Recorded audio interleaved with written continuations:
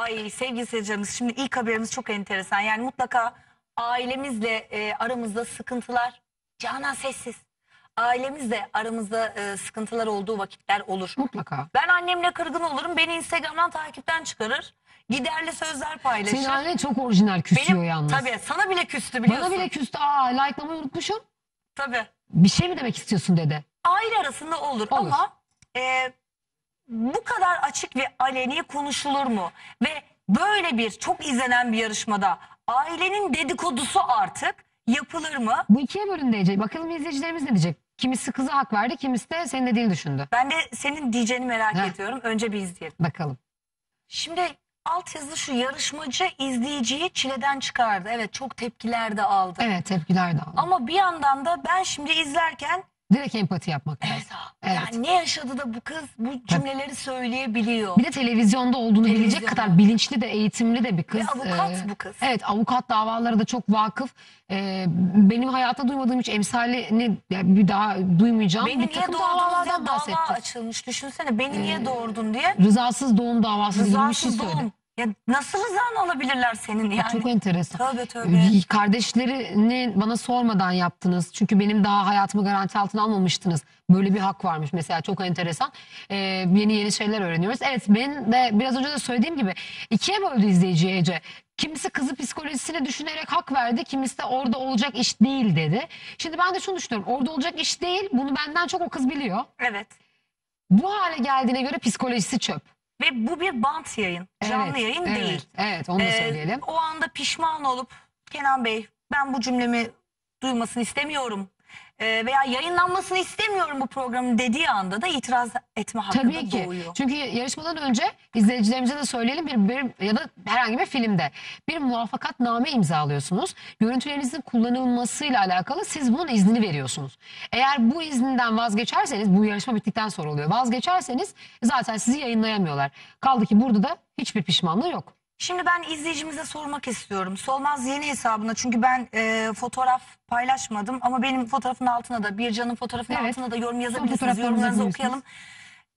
Eğer siz ailenizle böyle bir sıkıntı yaşasaydınız, milyonların izlediği bir programda bu sıkıntıyı dile getirir miydiniz? Veya sizin ailenizde bir sıkıntınız var ve elinizde böyle bir dava açma hakkınız olsa açar mısınız?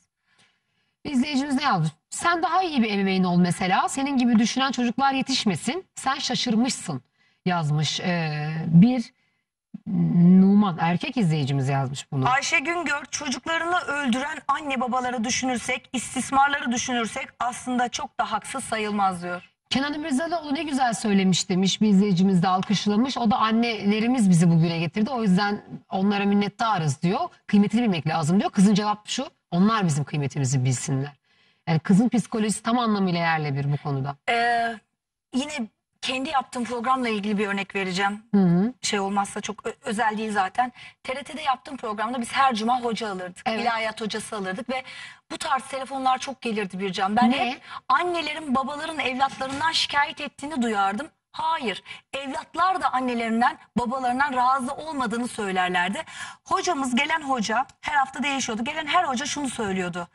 Ne olursa olsun anneye babaya saygısızlık etmeyin evladım. Ne olursa olsun mi? Evet. Kesinlikle yani. Görüşmeyin Evet. ama bayramda seyranda bir mesaj atın. Evet. Gönüllerini almaya çalışın. Yanlış bir şey yaptılarsa siz onlara bir ders niteliğinde bu Siz mesajlarla e, o, onu yapın diyordu hocalarımız. Hiçbir zaman hani e, tamam evladım konuşma değil. Ya gerçekten konuşma ama mesajın mesela kandil. İyi kandiller. Anneciğim, babacığım. Çok önem veriyorlar biliyor musun? Kandilde kadar. aranmaya, aramaya çok önem veriyorlar. Azerbaycan'dan bir izleyicimiz o kızın ne yaşadığını kimse bilemez diyor. Bak Evet. e, a- o yüzden diyor e, içinden geçenleri biz bilemeyiz o yüzden hak veriyorum diyor. E, Azerbaycan'dan bir izleyicimiz yani anlat, anlayabildiğim kadar böyle. Levent Karakoç hattın diğer ucunda avukatımız. Ona da soralım.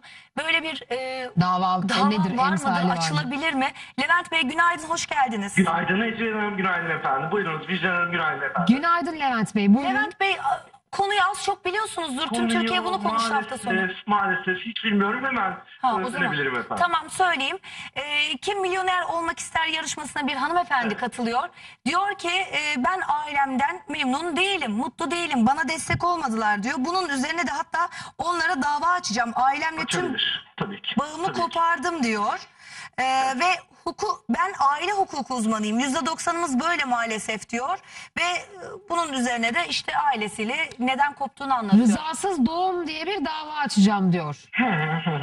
Bu mümkün değil. Hayır. Biyolojik olarak Türkiye'nin doğal seleksiyona, e, Allah'ın o itikatlarımız herkese malumdur. E, bu yaşamın doğal akışına aykırı böylesine bir talebin ben hukuken değerlendirileceği kanaatinde değilim.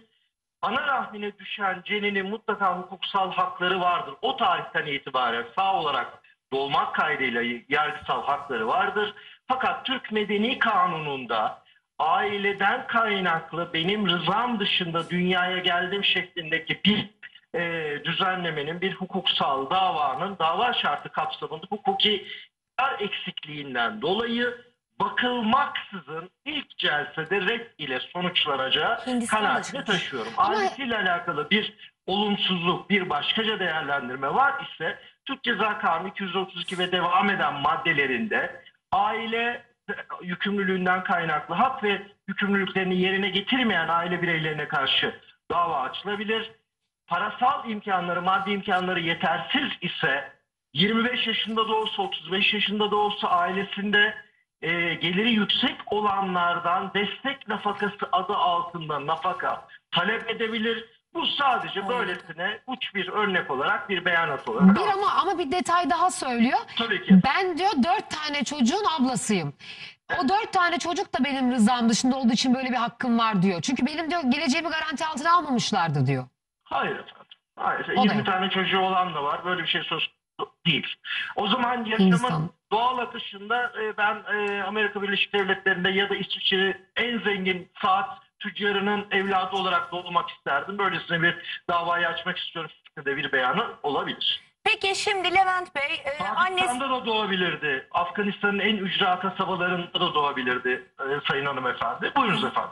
Peki e, annemden babamdan memnun değilim, hoşnut değilim tövbe tövbe ve diyorum ki ben onların kızı olmak istemiyorum. E, ve dava açıyorum. Dava açabilir. Nüfus kayıtları dışında bağlı bulunduğu il, ilçe neresi ise Sayın Ece Hanım, örnek veriyorum.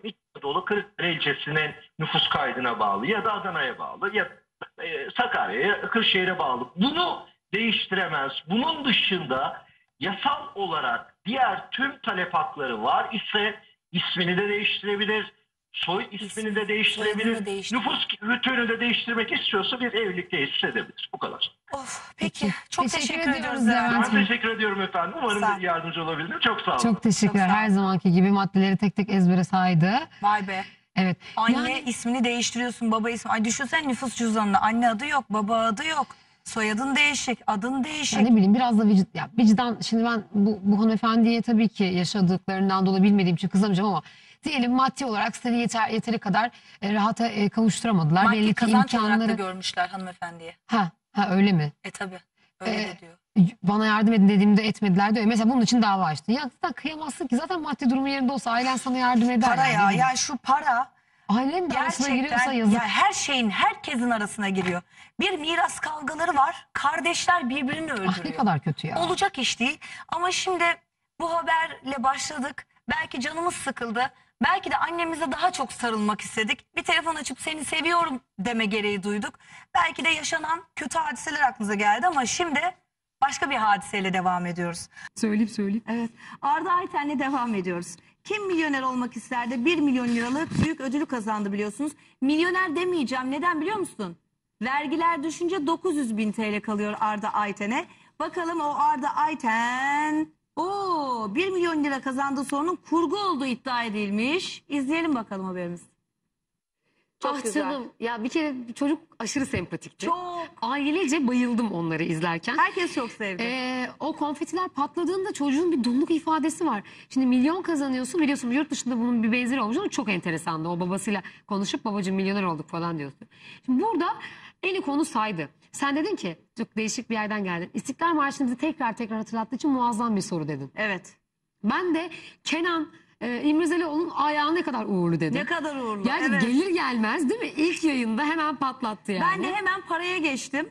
Veraset ve intikal vergisi çıktıktan sonra 900 bin TL kalıyor. Arda'ya soruyorlar ne yapacaksın bu paraya? Bol bol kitap alacağım diyor. Kısa bir reklam aramız var. Devam Süpersin. edeceğiz. Tekrar tebrik ediyoruz. Muhteşemdi.